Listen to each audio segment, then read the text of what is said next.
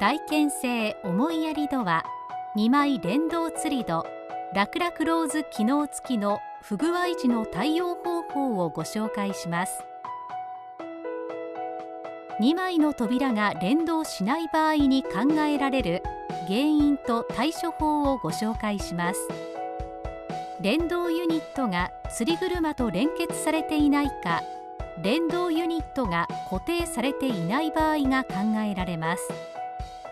扉商用の釣りドレールに取り付けられている連動ユニットを確認してください。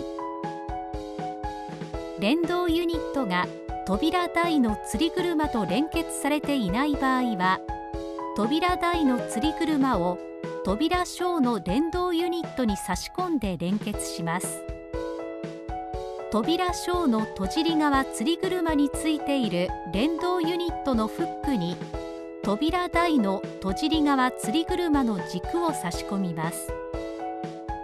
連動ユニットと扉台の釣り車を連結しても扉が連動しない場合は連動ユニットと上枠を連結固定金具で固定します。作業の前に床に傷をつけないようにマットなどを敷いておいてください。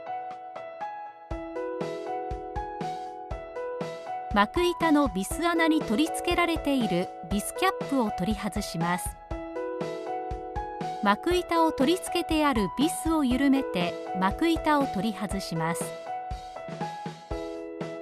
扉台の戸先側と戸尻側の吊り車をレバーを上に押し上げて扉から引き抜きます。扉台扉小の順に扉を取り外します。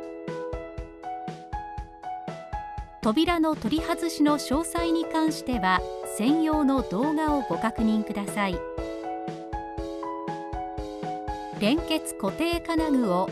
戸建てと扉商用釣りトレールの間に入れて電動ユニットの連結ブロックにはめ込み戸建ての上に合わせます。連結固定金具を鴨居にビスで取り付けます。電動ユニットを左右に移動させると作業しやすくなります。取り外しとは逆の順に扉小扉台の順で扉を取り付けます。扉の取り付けの詳細に関しては専用の動画をご確認ください。